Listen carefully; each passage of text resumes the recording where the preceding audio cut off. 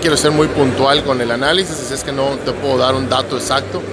sin embargo, lo que más se reconoce es que no haya habido cancelaciones de reservaciones como en años cuando el carnaval estaba en Paso de Montejo, que eso es lo principal, ¿no? creo que hubo un buen carnaval en, en general para la sociedad yucateca. Eh, y bueno, se vio un carnaval en orden, que, que es lo principal, ¿no? Eclipse, televisión digital.